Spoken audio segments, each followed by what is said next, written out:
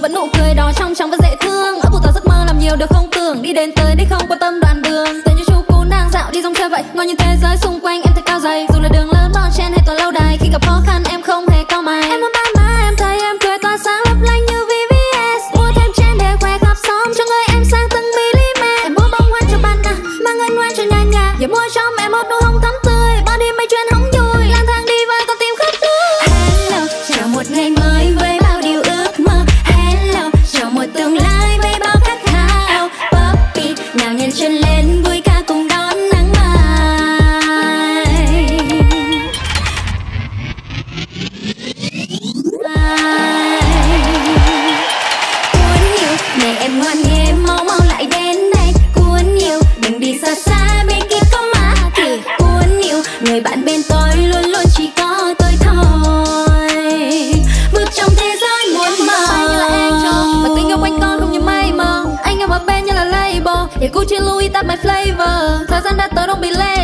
legendary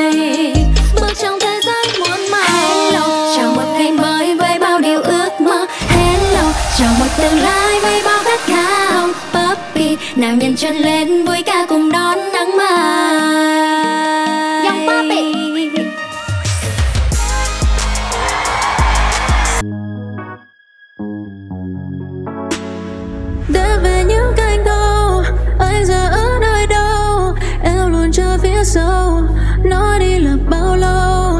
Anh chọn cách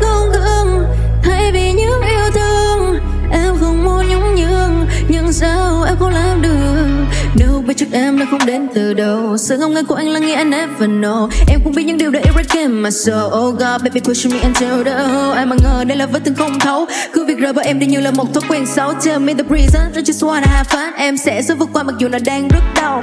Baby, I'm fine. Em biết rằng chuyện nào thì cũng em sai. Đã cần thận tôi và anh cho anh cầm lái nhưng sao lúc nào cũng là em người gây ra tai hại? You are killing my vibe. Không phải cạnh bên, không phải cả đêm. Từ khi quen anh đó là những gì em đã tập quen. I wrote this song anh know how I'm strong cho anh biết em có yêu anh mặc dù là you wrong. You are my babe. You are my babe. You are my babe. Không muốn từ bỏ, nhưng sao đâu quá cho em lý do để tâm này thôi dễ dàng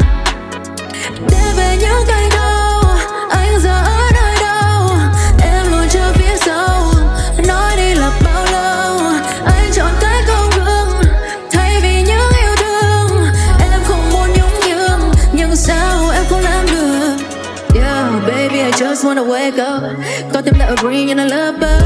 Bên nào bên anh sẽ có thêm một nếp girl Đâu đến những từ trước từng có một vết cờ Sao sao được baby Hơi me all over những thứ mà em cho đi. Anh có nghĩ cho em không? Những cảm xúc ấy bên trong, Hay là yêu vô qua cho sông mà cái những thứ đã cất câu. You push me home Make me don't go too far. You is fake. So savage Kiss my face. Yêu anh qua được phân vân Không một thứ đâu mà chỉ suốt ngày dưng dưng giận dỗi được cách xưng Nói chuyện tay lưng lưng hay đâu mất cách lưng chừng. Bên này em có trọng nhớ.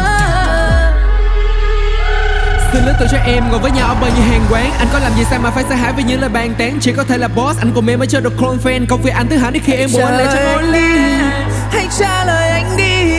Liệu còn hy vọng để có thể ôm lấy nhau người ơi trong lòng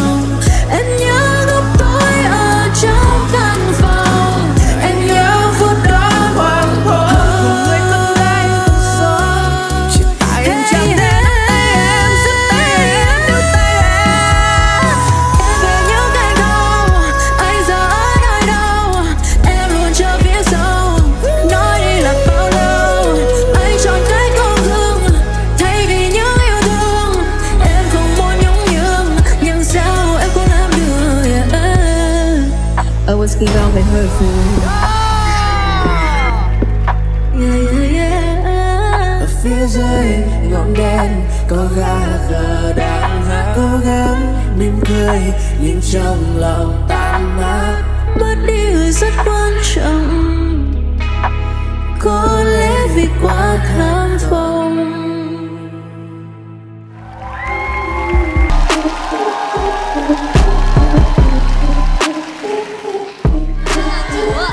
Em chào các quý vị ban giám khảo và các anh chị huấn luyện viên ạ. Em tên là Young Puppy Thì cái nghệ danh nó có ý nghĩa như thế nào?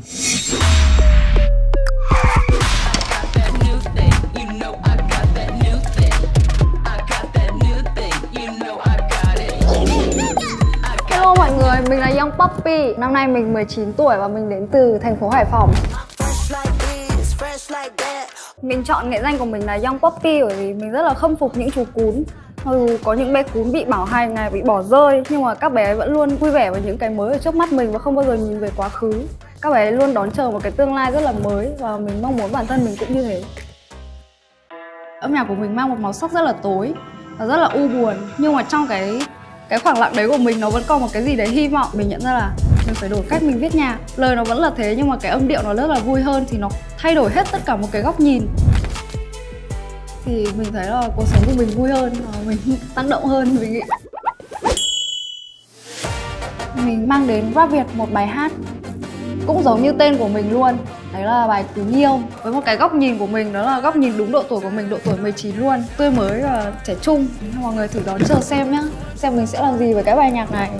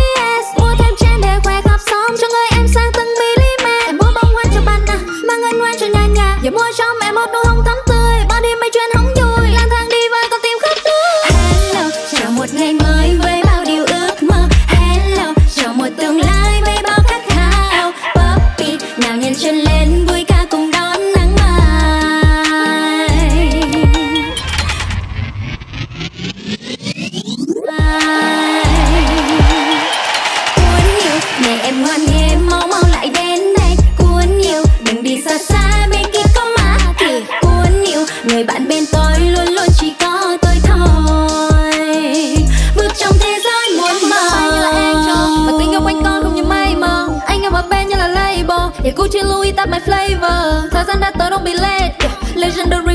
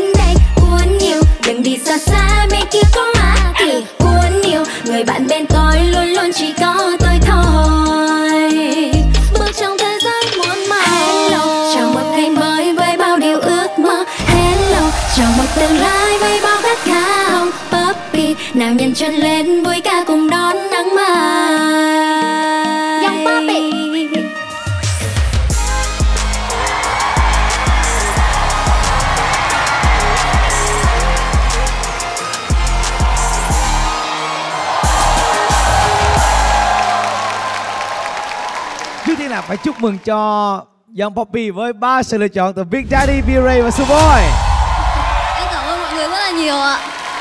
Cái thứ hai là phải khen tiết mục này rất là đáng yêu và mang đến năng lượng rất là tích cực.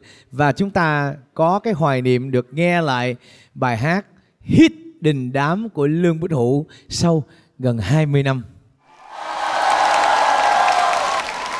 Wow cho mình hỏi là bạn lương bích hữu hôm nay đến đây tại rap việt lần đầu tiên làm ca sĩ hát hỗ trợ có cảm xúc như thế nào ạ? À? À, cảm thấy là mình trở về uh, Gen Z. Khán giả hỏi nè lương minh hữu hàng ngày ăn cái gì mà sao trẻ hoài vậy?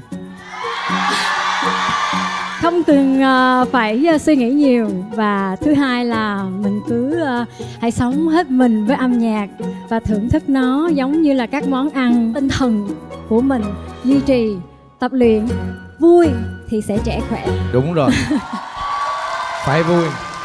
Mà cho thành hỏi luôn là tại sao hữu lại nhận lời hỗ trợ cho bạn vậy? Đầu tiên thì phải cảm ơn đến chương trình mời hữu.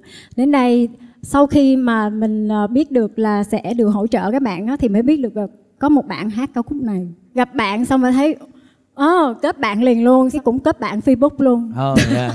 hai chị em gương mặt rất giống nhau nhá Mr. F Hero, I would like to introduce to you. This is one of the best and a pop star in Vietnam of all wow. time. Yeah. Wow.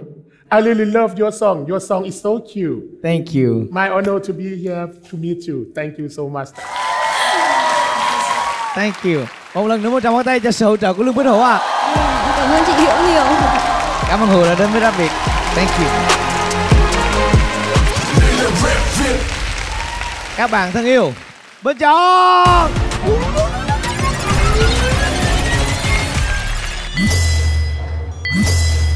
tám mươi bốn phần trăm hợp lệ. Chúng ta nhường cho su boy nói trước nha. Mời su. Trời ơi em dễ thương quá. Cái cơ duyên nào mà để cho em quyết định là em lên thi rap việt? Từ trước đến giờ em là một người mang rất nhiều nỗi buồn. Nhưng mà em đã tìm đến nhạc để em có thể viết vào những cái đấy vào trong nhạc của em để em có thể giải thoát được những cái cảm xúc đấy của em. Và sau một thời gian em làm nhiều bài nhạc, rất là buồn. Em cảm thấy là việc làm nhạc của em nó giống như một dạng manifest vậy. Nên là em không thể viết những cái bài nhạc buồn đấy nữa và em đã chuyển thể hình ảnh của mình sang một cái hình ảnh mới, tích cực hơn và vui tươi hơn ạ.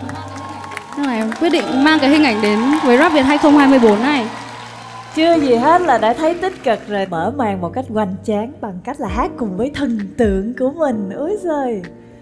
Em cảm ơn chị quá tuyệt vời. Quá tuyệt vời. Hồi nãy em nói mà giống như em rưng rưng nước mắt luôn á.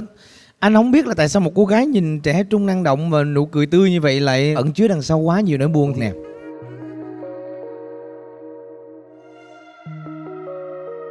Từ lúc em còn bé đến tận bây giờ điều làm em buồn nhất đấy là em luôn nghĩ em một mình ạ I don't know why be so afraid to show what it be like. I don't know. vì sao em nghĩ như tại vậy vì bố mẹ em hai người đã hết tình cảm với nhau rồi và mọi người đều đi tìm gia đình mới của mình và em phải tự lực trong cuộc sống của em và tự tìm kiếm hạnh phúc cho em và em đã Ừ. phải tự trưởng thành và lớn lên cho đến tận bây giờ để ổn định cuộc sống của mình ạ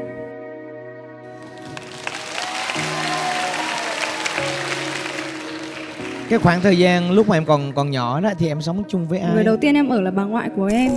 Sau À. khi mà em lớn hơn một xíu thì em phải tập trung vào học hành nên em chuyển sang nhà dì của em. Và ừ. nhà dì là giáo viên nên dì có thể kèm cặp em hơn. À, sau khi mà em lớn hơn nữa thì em nghĩ là em phải tự lập rồi. Em ra ở riêng và em tự học hành và làm việc tự bươn trải cuộc sống của mình để không là bố mẹ lo ạ để anh chia sẻ với em cái điều này nhiều khi mình sẽ có những cái không may mắn của của mình và cái đó mình không được chọn đúng không? Hồi nãy anh nghe em nói là em cảm thấy em lonely. À tại vì hôm nay mình có cơ duyên mình gặp nhau đúng không? Cái anh anh cho em một lời khuyên là mình sửa câu đó lại chút xíu thôi. Em cảm thấy em lonely cho đến khi em bước lên sân khấu này. À, đúng không? Tại vì sau hôm nay khi em tìm được đúng chân ái thì sẽ có nhiều người khác bên em. À chúng ta đều được sinh ra để xứng đáng được nhận yêu thương và mình cũng được quyền chọn cái người để mình yêu thương luôn. Đúng không? Vâng. Tất cả những người yêu thương sẽ tự tìm đến nhau để yêu thương nhau. Đó là một quy luật bất biến của vạn vật. Cho nên anh nghĩ là hôm nay em tìm đến đây để trao yêu thương và em sẽ được nhận lại yêu thương anh tin vậy ha? Em cũng tin là như thế. Ok cảm ơn em. Em cảm ơn anh rất là nhiều. Mình cảm ơn mọi người và các vị ban giám khảo và huấn luyện viên hôm nay đã ủng hộ cho mình ạ. Ok. À mình biết à nói về bài hát này thì rõ ràng là nó rất là hợp với cả cái độ tuổi của Poppy và khi em trình diễn thì anh cảm thấy là nó rất là dễ thương nó rất là đúng là với cả cái cái độ tuổi của em hiện tại. Với cái style này anh cũng có thể giúp đỡ em để làm rất nhiều những cái kiểu sô cô la kẹo mút giống như là giống giống thôi à giống thôi ờ hơn đấy. Ok be ready. Nói về sô cô la kẹo mút mấy cái màu nhạc này thì uh, nó gọi là sở trường của em rồi. Và em cũng uh,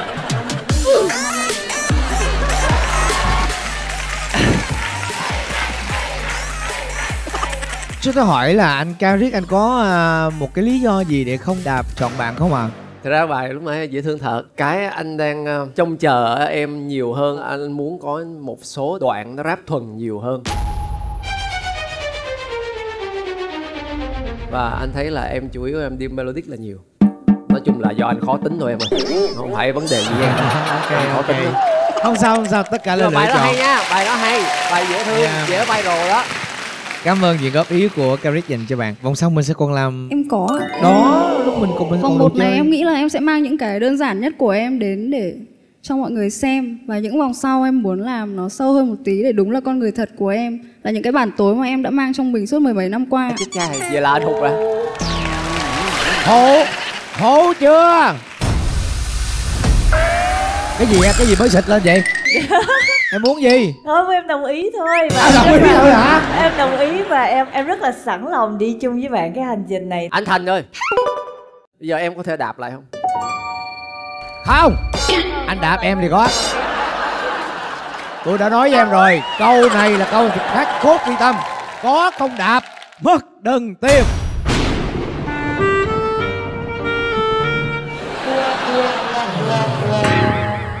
F what do you think สำหรับผมผมรู้สึกว่าตั้งแต่น้องขึ้นมาบนเวที เราจะรู้สึกได้ถึงความเป็นมิตรและก็พลังบวกนะครับ ซึ่งในเพลงฮิปฮอปเนี่ยผมไม่ค่อยได้รู้สึกถึงความรู้สึกนี้มาก่อน แล้วก็ปกติแล้วเวลาเพลงฮิปฮอปมักจะมาในแบบโหมดซีเรียสโหมดเครียดโหมดชีวิตอะไรเงี้ยดีเหมือนกันที่เราได้ผ่อนคลาย แล้วก็เราได้เห็นการแสดงที่เรารู้สึกว่ามันได้ยิ้มตามตลอดเวลาผมเชื่อว่าลูกสาวผมจะต้องเป็นแฟนคลับคุณครับ anh Thái you like the performance? Yeah, um, anh, anh đồng ý với uh, Pharaoh um, Em bước ra là là cái bản này very dễ thương. Anh thấy nhạc em là trending cho mấy người trẻ Các đường em là very nổi tiếng in that world. Em cảm ơn anh Thái dạ em cảm ơn anh Thái ạ. Bây giờ em có cái nguyện vọng gì không? Em muốn về đội một người nào đấy có thể ờ, giúp em viết rap giỏi hơn. Tại vì hiện tại sở trường của em đang là melody. Câu nói này rất là hữu ích. em muốn training cho mình thêm về rap để có thể hoàn thiện hơn ạ. Có người nâng khăn sửa túi rồi kìa. Thấy chưa? Su boy cũng đang chỉ về phía mình ạ. À. cho em nói thêm vào thì thực ra á, là lý do mà em ờ, đợi tới rất là gần sát em mới bấm là tại vì mùa này thì em không muốn làm cái màu mà mọi người đã xem rồi nhưng mà bạn quá hay cho nên em bấm và cộng với lại cái lời nói vừa rồi của bạn thì em lại càng tự tin là khi mà bạn về team của em em sẽ có thể khai thác bạn. Anh cũng nghĩ Biri có thể làm điều đó cho em đấy. Anh ơi nhưng mà em thấy chị su boy cũng có thể mà anh. Em ơi em ơi. Bé nó gửi tín hiệu từ vũ trụ rồi. Nói đi nói gì nữa? Đến phân tách Su Boy thì dĩ nhiên là quá hợp với em rồi. Cái thứ nhất Chị đã trải nghiệm nhiều. Chị cũng là một người bước ra Và đi lên từ nỗi đau Để có thành công như ngày hôm nay. Và chị hơn ai hết Là một người đồng cảm và thấu hiểu. Cho nên chị sẽ biết em đã trải qua những gì Để đưa lời khuyên đúng đắn. Cái thứ hai, Su Boy là người rap đậm, Rất là đậm. Cho nên Su Boy sẽ biết cách để đưa cái tâm lý rap nữ hợp lý với em cái thứ ba su có đầu ra. Cái đó là giá trị nhất của em. em nhiều khi có thể collab đồ rồi đi lưu diễn đồ này nọ. Anh bi thì đồng ý là ảnh là cái người là rất thích xoáy vô nội tâm. Nhưng mà bi á là bad boy. Nếu em mà đủ can đảm thì em đi chơi với bad boy. Nó có nhiều cái hay lắm. Thú vị lắm cái gì càng nguy hiểm càng hay đúng không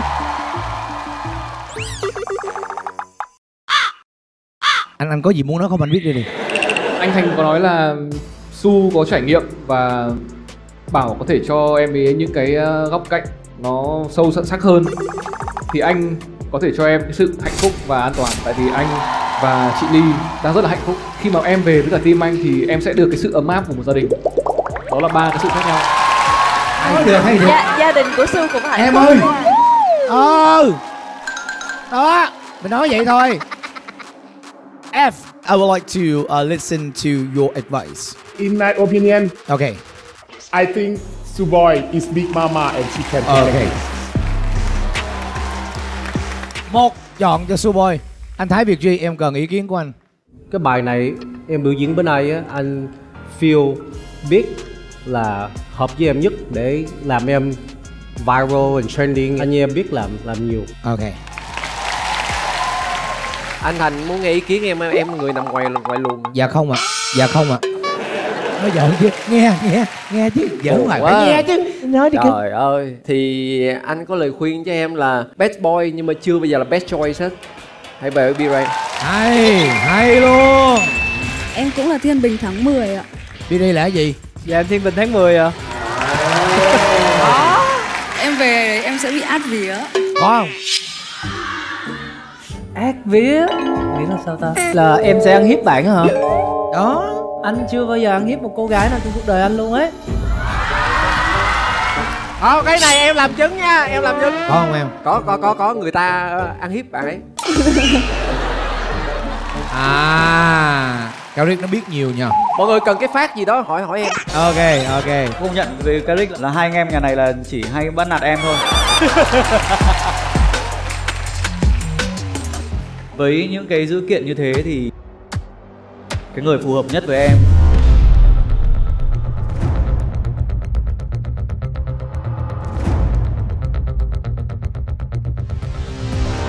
B-Ray B-Ray